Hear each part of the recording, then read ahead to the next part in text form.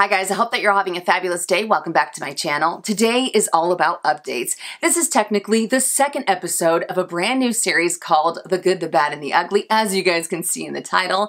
But I asked you on my YouTube community page if you would be interested in seeing this become a series, and you guys said yes. So here I am. I am super pumped for this. And I think that for this series, I'm not gonna limit it to just bags because I don't just talk about bags on my channel. I talk about SLGs a lot. So I'm also gonna sprinkle those in between. I'm gonna try to go for anywhere from four to six items in each of these videos. So some days it might be four bags and two SLGs or all bags or I don't know, a mixture of them. I have no idea. Uh, but um, I'm really, I'm really looking forward to this and I hope that you guys enjoy it. Um, now I will also be putting timestamps uh, I'll actually pin it as the first comment because maybe you're just interested in one item, not all six items or four items or what have you. So I will pin it as the first item. And I will also share how long I've had these items because I do think that's important when it comes to wear and tear and updates and whatnot. So again, I hope that you guys enjoy this video. If you do, make sure and give it a thumbs up. And without further ado, let's get started, shall we? All right, so let's begin with the first bag and that is the Louis Vuitton Alma BB in the Damier Ebene. So I've had this handbag for going on seven years. And for as long as I've had it and for as often as I use it, because this handbag is in heavy, heavy, heavy rotation in my collection still to this day, seven years later, it is held up insanely well. I don't have any pop stitches. I don't have any cracked canvas. I don't have any scratches on the canvas. I don't have anything peeling on the canvas. I don't have any scratches on the leather either. But look at that no scratches at all on this leather. Now, because the Damier Ebene does have that clear coating to, to make it or that color treated leather and it does have that clear coating I have not experienced any type of clouding on the on the Damier Ebene I haven't experienced any type of fogginess or anything like that it still looks it still looks like the day that I got it. And uh, there are no gnarly creases on that either. So it's it's been great. It's been absolutely great. The only wear and tear that I really have on this bag is on the zipper. And um, that's really just because of the nature of the bag. I mean, just from opening it up, it is a top zip closure bag. And you can really see that the, uh, the, the wear because that gold has started to kind of peel away. It's really noticeable from here to here. Besides that, on the sides, it's not too bad. Uh, now, this isn't something that I would personally take into Louis Vuitton to get repaired because, like I said before, it is the nature of the bag. It's going to happen over and over and over again. So it's like, why even take care of it? You know, just leave it the way that it is. Um, so I personally am okay with that. Uh, the feet along the bottom do have a little bit of wear just from setting it down. But as far as the zipper pull, it still looks like the day that I got it.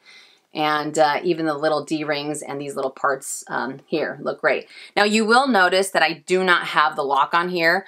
Uh, I actually took off the lock, I wanna say it was probably five years ago, if not longer.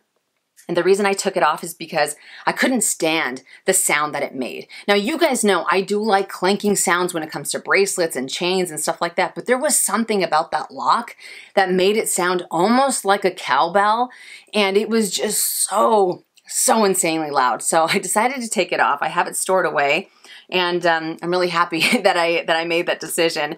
Now this handbag does come with a removable not adjustable uh, strap that you can use either as a shoulder bag, crossbody, or what have you. And Seven years later, I am still not fond of this strap. I really don't use it. Even if this was adjustable, to be completely honest with you, I don't think that I would end up using it. I don't find it to be the most comfortable. Uh, it's not stiff, but because it is the color treated leather and because it is a little bit thinner, sometimes I find that this strap digs into my shoulder or if I go to use a crossbody, it digs into my skin a little more than I would like.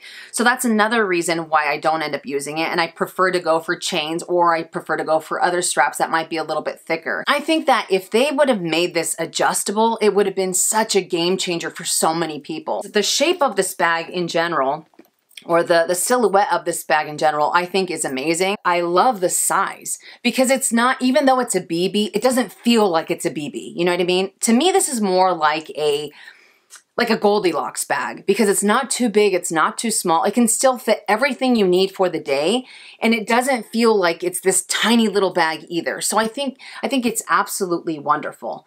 You know? And one thing I will have to say is that I do have a, uh, a bag liner or organizer in here. I got this from Samorga.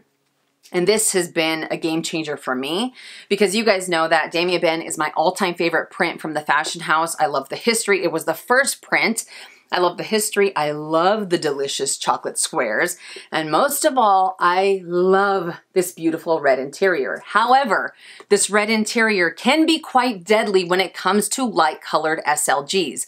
So if you do put any type of whites, baby pinks, taupes, or anything like that, any kind of neutrals in this bag without a liner, chances are you might experience some type of color transfer on those pieces just from the natural movement of you using the bag and it and the the items kind of rubbing you know on the interior of the bag you might experience that so before I always used to use the dark colored SLGs just because I didn't want to experience the color transfer. I experienced color transfer with a Damier Ebene bag many, many, many moons ago and I learned my lesson.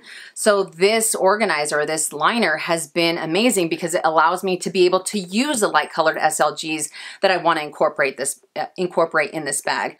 Now over the years, uh, when I first got this bag, it was a little bit stiff just because of the dome shape that it has. But as a as the years have gone by, uh, it's also stretched out quite a bit, not to the point where it's loose and it's gonna look like it's like this, you know, all the time. Definitely not, but it's loosened up enough to where you can put your items in here and you don't have to worry that the teeth on the zipper are going to like scratch it up against your, your hand or anything like that. But overall, for me, this handbag, it really doesn't have any cons. Like I said, the strap thing, I don't use it anyways. I prefer something else. Uh, but in general, this bag is all pros and um, I absolutely love it. I think, I think it's awesome. Even though it might not be a forever bag for me just yet, I will absolutely sing its praises because I feel like it has so much going on. It's a smaller bag that still packs a punch. It's it's a bag that can transition very easily from day to night. It's a bag that's great for grab and go. I mean, uh, it's it's carefree. You don't have to worry about uh, you don't have to worry about any type of water spots or anything like that. Uh, so I I am absolutely fond of this. And do I recommend it? Absolutely, 100%. I think it is a fantastic fantastic handbag. Moving on to number two, that is the Chanel Wallet on Chain in the black caviar leather with the gold hardware. So in June, this bag will be with me nine years. nine years. And in my opinion, this has been one of the best purchases I have ever made from the fashion house. This, in my opinion, has got to be one of the most versatile handbags that I own. Even though it is small, I have been able to incorporate this into my lifestyle so many ways that this handbag has paid for itself over and over and over again. I think it is absolutely wonderful. Now, as far as wear and tear goes, uh, I do have one pop stitch. Let me show you guys. Uh, let's see. Let's see if I'm if you're going to be able to see it or not. But it's right here. It's actually it's actually pretty big. right there, I have one pop stitch. Uh, and you will also notice that I do have quite a bit of wrinkling on this leather portion here. And the reason that is, and it actually doesn't look as bad now because I actually have a, uh, a little base liner, and I'll talk about that in just a second. Uh, but if I take it out, you will notice that I have some gnarly, gnarly wrinkling on here. And the reason that is, is because there have been so many times that I have overstuffed this bag. You guys know how I am. You know how I roll.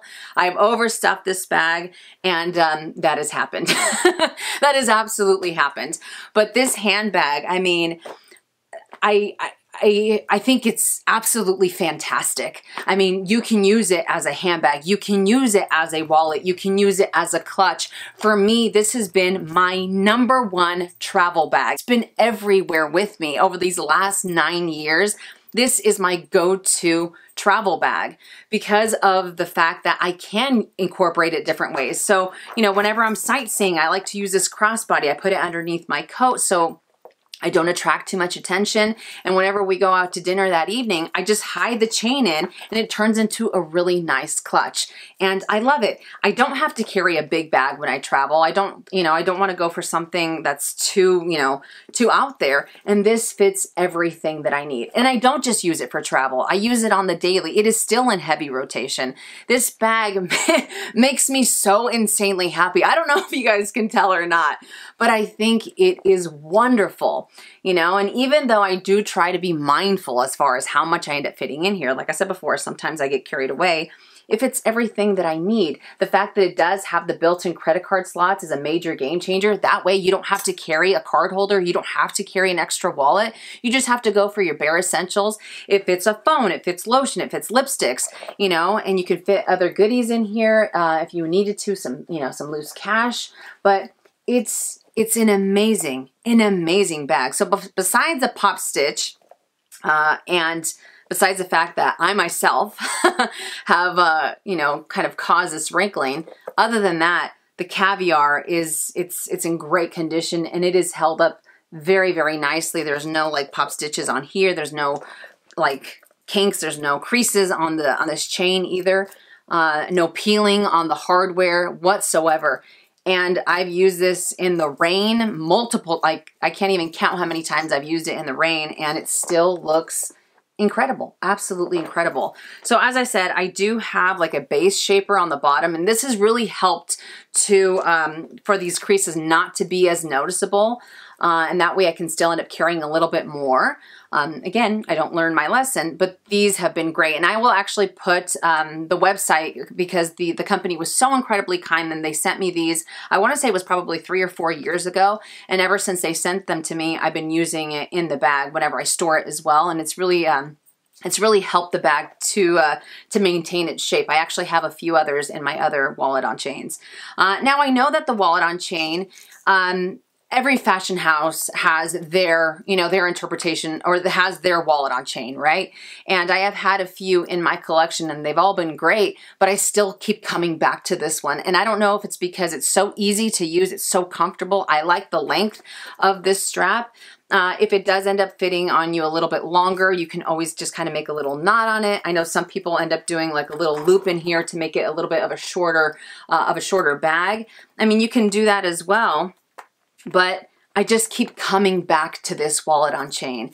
And I, I think that Chanel really does it, does it the best you know and this this is such a great bag. So i think that if you're looking to branch into into chanel or if you want to try out a brand if you want to try out a bag from the brand i think that this is awesome because again it offers so incredibly much and you're able to incorporate it so many different ways into your lifestyle at least in my opinion. I know some people have been able to fit their glasses in here. Obviously you're not going to fit a water bottle. You're not going to fit this ginormous wallet either you know? So you have to go a little compact but it fits everything that you need very, very nicely. And I think that it is an incredible handbag. So when people ask me, hey, Minnie, what's a Chanel bag, you know, for a first timer, what's the Chanel bag that you recommend? What, you know, what bag should I add to my collection? I will always, always, always say the wallet on chain because of the reasons I just said. All right, let's keep going with number three, and that is the Aspinal of London Midi Mayfair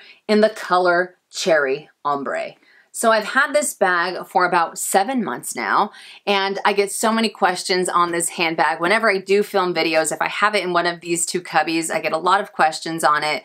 Uh, but this brand, I actually discovered it uh, last year, and I fell into the rabbit hole. I fell in love with so many of their silhouettes, and I am here to tell you that this brand has 100% exceeded my expectations because their craftsmanship, their attention to detail, their quality is so beyond so many other brands. It's insane. And I love the fact that they don't break the bank when it comes to their prices. They're a little bit more on the higher end of contemporary, or uh, some people also consider it to be the lower end of luxury. But to be completely honest with you, there is nothing low low end when it comes to the quality that you get with Aspinal of London. My goodness, I am so in love with this brand. It is held up insanely well. This bag is also in heavy rotation. I do have another Midi Mayfair in a lighter color, But this color, I mean, come on. this color, it's it's red, has a champagne gold hardware, and it looks brand new. It looks brand new. I have used it so much and every time that I use it, I get so many compliments on it. I like the fact that it's very structured. I don't think that it's too dressed up either. I don't think that you I mean, that you have to wear a certain outfit. I mean, I'm very casual and I love rocking this with a super, super uber casual outfit and it works. It absolutely works. I like the fact that this bag also comes with, um, hang on. I like the fact that this bag also comes with a removable chain strap. It's very similar to like the Chanel uh, mini Coco or to the Coco handle. Uh, so you can take this off. Uh, you can use it crossbody. You can use it on your shoulder. Sometimes I like to use it just as a decoration. You guys know how I feel about chains and decorations. Other times I just like to kind of hand carry it. But let me just show you guys nothing out of place when it comes to this bag. It's insane. Uh, I do have some little scratches on the hardware, not too bad just from setting it down. But besides that, I love the little push lock closure that it has. There we go. And then on the inside, you have two little compartments and a little zip closure here and you have a little bit of give right there. So it is a little bit stiff. I'm not gonna sit here and lie to you and say, oh no, it's super easy. It can be a little bit stiff. And the more and more that I use it, I mean, I imagine that this in like two or three years time is gonna be a little bit easier to open up than, uh, than, I, than it is now. But um, it's it's still not like super stiff that you can only, you know, put one item in and take it out and then, pff, no, nothing like that. Um, but it is quite spacious and it is just, it's amazing. And even when you do that, it doesn't wrinkle too much here. How many top handle bags that you open up that way with the flap have this gnarly creasing back here? I have quite a few in my collection and the fact that this doesn't, I think is absolutely fantastic. So I, I love it. I absolutely love it. They have different sizes when it comes to the Mayfair. They have the, um, they have the micro, I actually have one, or I'm sorry, the nano. Then they have the mini, the midi, and then the regular Mayfair. So this is the third one up, uh, and I love this size. I think it is absolutely fantastic. I mean, if you're looking to go for a new brand and you don't want to go for something that breaks the bank, you want something that has fantastic quality, definitely check out Aspinal of London. I promise you, you will not be disappointed. Um, oh, and it also has a magnetic little uh, pocket back here. I don't really use it. I've used it sometimes for cash, uh, but when I do that, I have uh, forgotten that I have the cash in there, and then I find it, you know, a couple weeks later.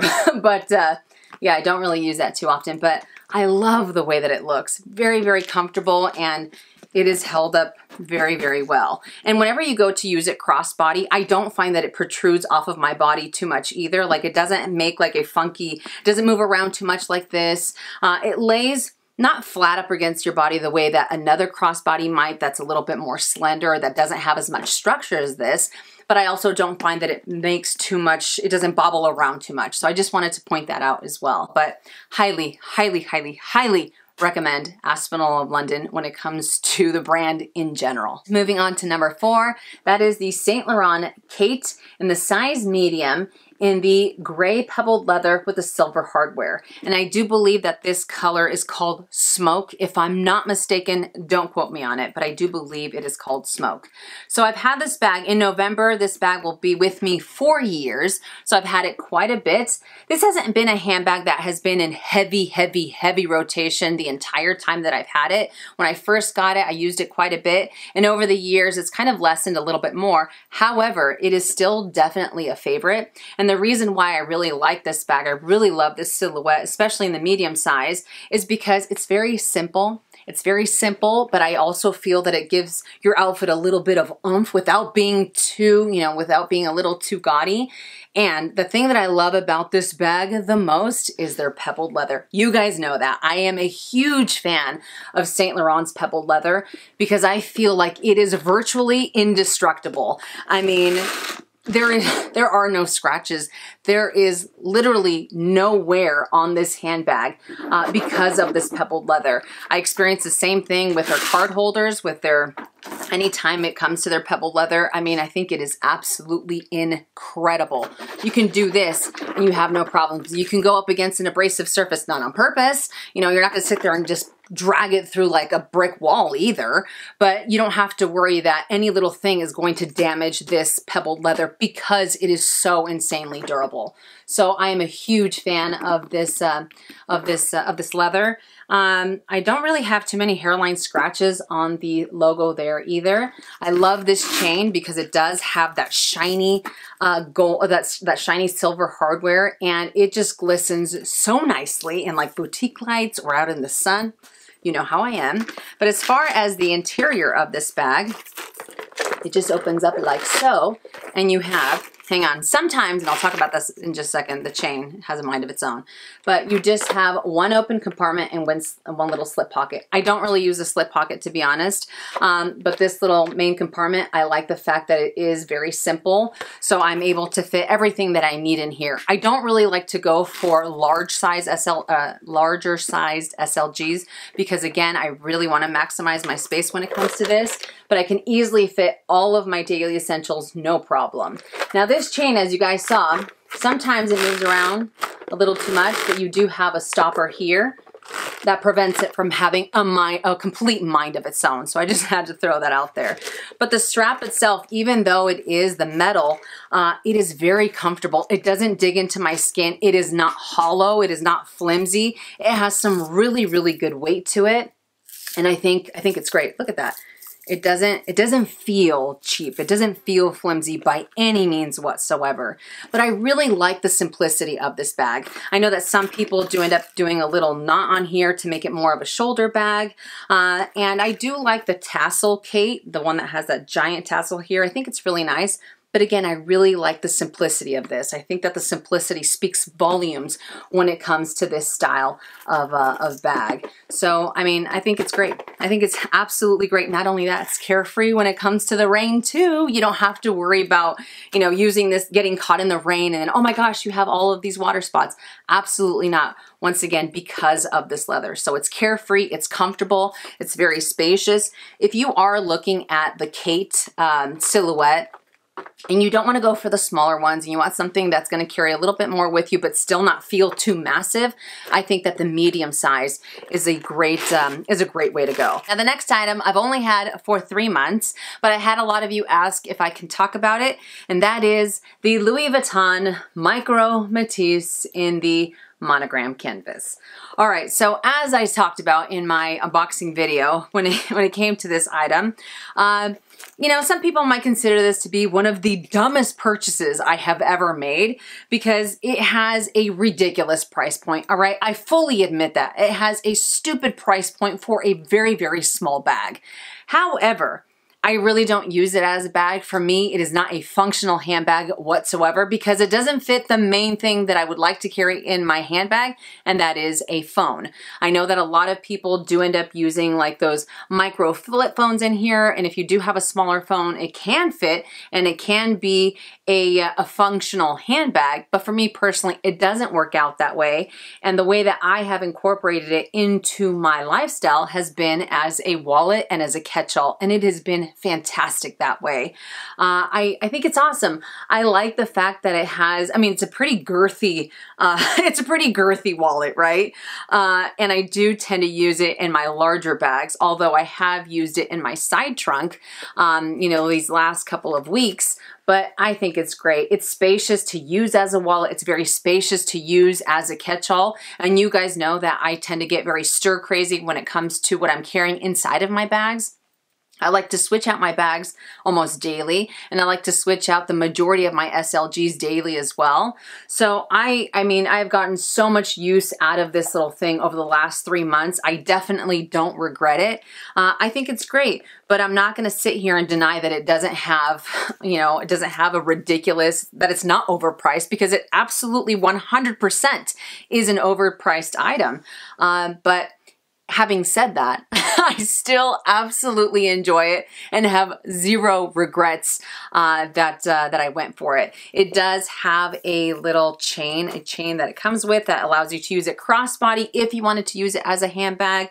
Um, I know that some people have actually used this to uh, have this be kind of like a belt bag or they turn it into a wristlet. I mean, I feel like the possibilities are somewhat endless when it comes to how you can incorporate this. You know, this is very, this is like a thicker, more dressed up version of the key pouch for, from Louis Vuitton. That's kind of how I view it and that's kind of how I end up using it, you know, and it definitely works. So if you want to use it as a bag, if you want to use it as a catch-all, as a wallet, as a belt bag, as a wristlet, what have you.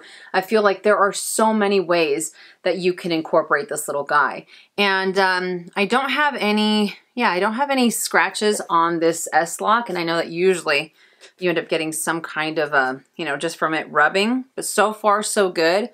I don't have, I think I have, I do have some little scratches up here. Not too bad but I haven't had any issues so far. Again, I haven't had it for very long. Uh, I haven't had any issues with this part splitting or anything like that. It's been wearing absolutely fabulously so far. And I will continue to give you guys updates on how this little guy uh, ends up wearing. But I'm a sucker for it. I am absolutely a sucker for it. I think it's so cute. Sometimes when I bust this out to pay and, I, and I'm using it as a wallet, people are like, oh my gosh, it's such, such a cute little wallet. You know, just because it has so much, has so much character compared to like a card holder or I don't know. At least that's the way that I see it. But it's not fussy and it doesn't catch on anything. It's, it's a great little pouch. So for me, it has been um, it's been in heavy rotation using it as a wallet and as a catch-all these last three months. That brings us to our last bag, which is the Dragon Diffusion small size Santa Croce in the red leather. So I've had this handbag for about two months now, and this is where the bad, the good, the bad, and the ugly comes into play. Although some of you guys might consider this to be the ugly part in that title. Uh, but the reason why I wanted to include this handbag into this video is because I unfortunately experienced something that um, that it didn't wear the way that I would have liked. And I had to share it with you just in case you were also looking to add this back to your collection or in case you have it and you haven't used it yet and it's something to just keep in the back of your mind. So unfortunately with this handbag, I did experience color transfer. And the first time that I used it, um, I didn't I didn't notice anything because I was wearing dark colored clothing and I had dark SLGs in here. The second time that I used it, I was wearing a bright white t-shirt. And seeing as how this handbag doesn't have a long shoulder strap and it doesn't have you know, crossbody option or anything like that. It is just an open little bag. Uh, I tend to hand carry it and I actually had it on the crook of my arm. So didn't think anything of it. By the end of the day, when I used it the second time, I looked on my shirt and at the bottom of my shirt, I had like, like a reddish tint and I was like, what, where did that come from? I, I thought like, was there blood somewhere? Like I was trying to think of all these things, you know, trying to think like, maybe it's this, maybe it's that. I didn't even think that it would have been the bag, like at all. It didn't even cross my mind. So after a little bit of investigating, um, it definitely was the bag. And we're talking, I mean, I had the bag on here. I was probably wearing it for, I don't know, maybe four or five hours. And it was a spot on my t-shirt about this big, very, very noticeable. Uh, I couldn't believe it. I started rationalizing maybe I got the t-shirt wet, maybe this, maybe that. I don't I was trying to think of all these things because I couldn't fathom that I would end up getting that much color transfer on, you know, on on an article of clothing from this bag. Thankfully, uh, the second time that I used it, I was uh, using mostly Louis Vuitton canvas pieces and other dark SLGs, so I didn't get any color transfer on it. But had I used this with a light SLG, no doubt in my mind, I would have gotten color transfer, kind of like what I talked about with the Alma BB. So I wanted to show you guys on camera what I'm talking about. This is the little, uh, little bag that it came with. But just like so, and it could just be mine. Maybe it's a faulty thing. I don't know. But there we go. And then on the interior, if I was to do the same thing, it's actually a lot heavier obviously because of the texture that it has compared to the outside. But look at that. I'm not rubbing harder or anything like that. There we go. I'm actually gonna look at getting a leather sealer because I know some people use that after they dye items. That way they can seal in the color. So if I do that, maybe that will prevent the color transfer from happening in the future as far as the exterior goes. But the thing is, I also have to do something in the interior. Uh, maybe I can put the sealer in here as well. I don't know, man. All I know is I'm gonna try, I'm gonna I'm going to play MacGyver. I'm going to see what I can come up with, and I'll definitely have to report back to you guys. But I wanted to incorporate it, and I wanted to talk about this just the way that it is without having to add anything else. The fact that this handbag did end up staining my clothing when I used it just on its own the way that it the way that it's intended you know? So i just had to i had to talk about it just in case you bought it and maybe you haven't used it something to be mindful of or if you are thinking about going for one of these bags. Uh, but as i said previously hopefully it is just a faulty bag. Hopefully it just happened to me. Hopefully it hasn't happened to anybody else and uh, maybe the uh, the leather sealer or the color sealer, what have you, will end up uh, allowing me to use this bag in the future because I do like, the, I love the color, I love the silhouette, this leather feels amazing, but I'm not too happy about the fact that I have to be mindful now on how I use the bag. That's not that's not what I want to do. The last thing that I want to do, it really irks me to be completely honest with you, um, because now I have to worry what I can and can't do with the bag because otherwise it'll stain my clothing or if I'm not careful, if I'm using something light, it'll end up staining my, my light SLGs too, which I don't want. I don't want to have to think twice about how and when or how, what I'm going to use the bag with because that really takes away from from wanting to enjoy the bag in the first place. It takes joy away from it, at least in my eyes. I don't know, but I am I'm super, super bummed out. Super disappointed to say the least. But anywho, that does it for this video. I hope that you guys enjoyed it. And I know that I got very long-winded when it came to some of these segments, but what can I say? I know that I talk your your guys' ear off. I know that I have a tendency to do that, but I am not the type that just come on here and say, "There's this bag. I had it for this long. This is great. This isn't this isn't great. Let's move on." I, I just don't work like that. I like to give as much information as possible as far as my experiences with these items, just in case you are also looking to add them to your collection, you know, and I feel like the more information you get about an item, whether it's from my channel or from other videos or whatever the case may be, the more information that you get from items that you want to possibly add to your collection, uh, the better you you will feel about, at least in my opinion, the better you will feel about either passing on the item or about moving forward with that purchase, especially if you don't have the the if you don't have the ability to go to a boutique and see some of these items in real life. But anywho, I digress. I hope that you guys enjoyed this video. I hope I was able to give you a little bit more information and I sincerely hope that you enjoy this new series. And let me know which items should we talk about next when it comes to the good, the bad, and the ugly. I love you guys to the moon and back and I will see you guys in my next one. And as always, make it a fabulous day or not, the choice is yours. Have a great day.